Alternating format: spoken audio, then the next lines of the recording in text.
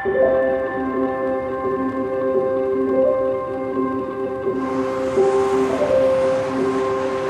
paling bikin kangen pas lebaran itu udah pasti kumpul bareng keluarga besar di kampung, terutama sama emak. Tapi sejak pandemi, selama kurang lebih empat tahun kami tidak bisa mudik. Karena suami di PHK dan mobil kami harus dijual untuk tambahan kebutuhan hidup.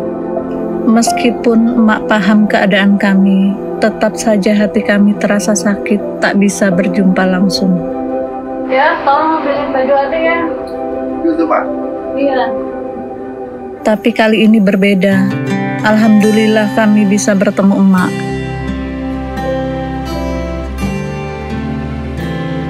Begitu tahu kami bisa pulang, emak menangis terharu. Ia bahkan berkata tak sabar memasak makanan kesukaan kami.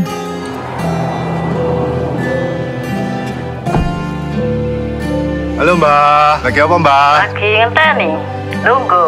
Tak lagi nyampe mbak. Ya, udah sampai mana? Banyak hal yang bikin kami sangat rindu pulang kampung.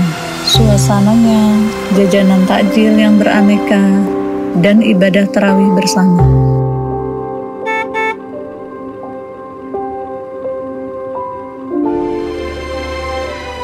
Saya sedih karena emak sudah sendiri, sudah nggak ada bapak lagi.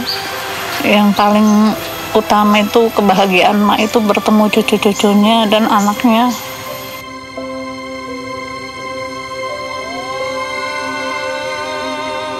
Terima kasih Yunde, karena di antar sang bintang, lebaran tahun ini terasa spesial dan tak terlupakan.